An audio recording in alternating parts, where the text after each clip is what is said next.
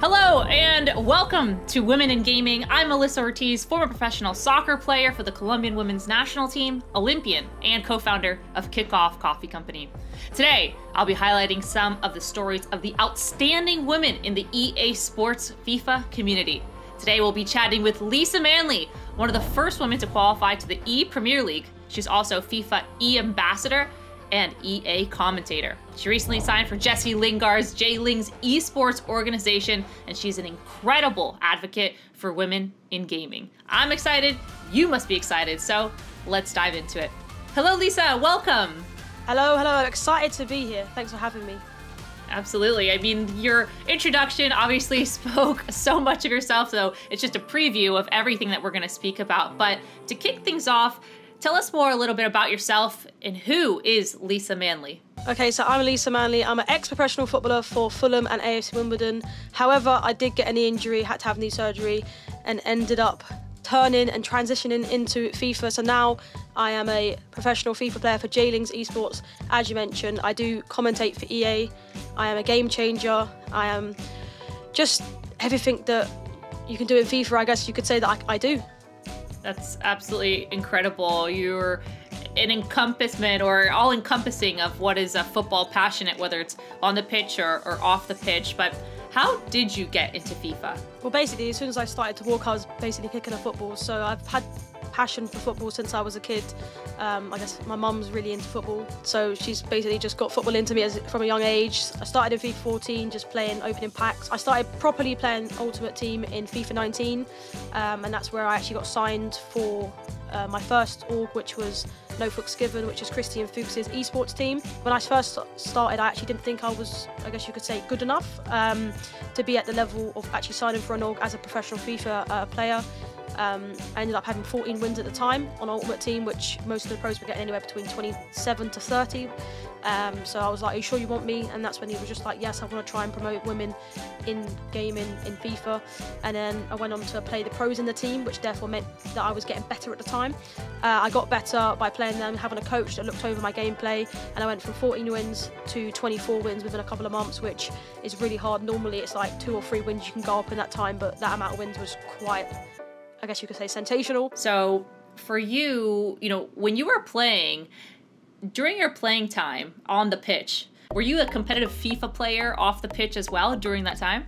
Yeah, I, I always, whenever whatever I do, I always put, you know, my 100% all into it every game it was you know I had to 100% stay focused. So going into the game 100% locked in I was serious dedicated. Actually you can use your skills in real life or knowledge in real life and use that into the game. Of FIFA knowing when to press the ball knowing when to defend knowing when to jockey knowing when to shoot knowing when to pass to a better player in a better position than you because in real life if you're if you can shoot on goal it might not go in but if you can you know switch it across the box to someone that's got basically to have an open goal it does help knowing that that's what you should do and knowing the right ways to do that whether that be you know I don't know like a driven pass as such or whether that just be a normal a normal pass just like tap it across whatever it may be you can talk or transition that into FIFA and I think that's why um, I do know quite a lot of knowledge about FIFA and also football and I can combine combine them together.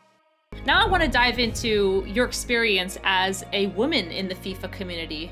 How has that been for you? It's very hard to be honest with you because as we know FIFA football mainly is a I guess a male dominated thing to do playing football, playing in FIFA and going into it obviously when I first started in FIFA 14 it was just there was no females at all. There was no one at all. No one was streaming it. No females playing it at all. And then literally all you get is just sexism sexism sexism. You shouldn't be on this game. You should be in the kitchen. You should be making some food. You should be doing the dishes. Whatever it may be you should be cleaning the house. It's never like just there's no like positive at the time uh, positivity at the time. So I think as a, as a woman in the industry it, it's it was really hard. Obviously I'll say it's probably getting a little bit better now, but there, it does, you know, daily it does still happen. A lot of orgs signing females to their esports roster.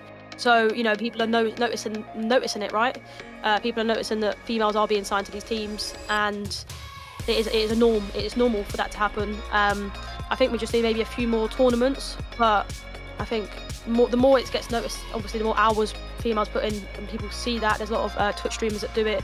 Now, what is something that you could either give advice or that you think has helped you um, combat against that? It does get to a stage where, to be honest with you, it does get to you, especially if it's constant, constant, constant. I think maybe just speak, speaking to a family member that I always tell my dad about, and he was just like, "Listen, just ignore it. You're, you're going, you're, you're going places. You're doing this. You're doing that.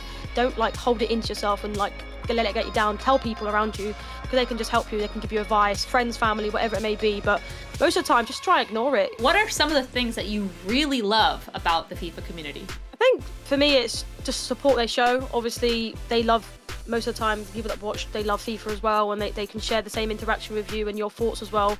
Um, you know, you can ask them for advice. Um, you know, what, what player I should buy or or what am I doing wrong. Sometimes they're, they're, like a coach as well as such because if you're in a game and you're losing, you can say to someone in the chat, well, "What should I do?" And I think it's just about the interaction with them. The, the, the majority of them are nice and you know they're not sexist and stuff like that. So I think it's just about the love they share with the game as well, which I can sort of interact with because that's what I like to do. Tell us a little bit more about your success within the FIFA community and the esports world. What are some of the other big accomplishments that you'd love to share with us? I'd say the main thing, which was actually recently, actually this week of us recording this, the um, I'm actually in the squad battle feature. So as soon as you load uh, FIFA and you go to squad battles and you go to the feature, my face is there. So obviously that's something that I never imagined when in, starting in FIFA 14 that I would be, the, I guess you could say, the face of FIFA. As soon as everyone loads the game, they see me. Um, that's one thing I'd say that is a massive compliment for me. People, you know, loading the game and seeing me. Now looking forward, do you have any goals that you want to achieve? Yeah, I've got a few. I think for me would be to try and be the first girl, I guess, to make an event, live event, LAN event, whatever it may be. I actually have got an opportunity to do that uh, soon. I qualified for um, EPREM for United, top eight. So obviously got to win a couple of more games to win the whole thing and hopefully go for a LAN. But if not that, I think I'd love to represent my country in the game, England. Um, I'd love to maybe be one of the first females to qualify for that and be one of the first females to represent England. That would be another aim. I think them too. And obviously in terms of everyone, and I think it would just be to try and get more diversity in FIFA. I think that's another thing for me. That's always been my ultimate goal in terms of like my personal goals. It, that is at the top to try and get my, more diversity in the game because you know that that's just amazing for more females to play the game and realise that they, sh they, they should be able to play it without any hate. So I think that's that's at the top, and then it would be for me to qualify for events because that's that's least important important out of them too. Now, fun part. Do you have anyone you'd like to give a shout out to? Shout out to Jesse Lingard, first of all, obviously for signing me, because without, I guess, signing for an org, I guess maybe the opportunities that I've come up with recently wouldn't have happened. I guess family, my dad, um, or I guess believing in me from a kid. Obviously, without belief around you, sometimes it is hard to strive for what you want to do. All right, y'all. Well, thank you so much, Lisa. It has been an incredible interview and just getting to know you a bit more. And we just can't wait to see everything you're going to be able to do leading women in gaming and everything that you're out set to accomplish. So thank you so much for your time. Everyone, that's Lisa Manley. Catch you next time.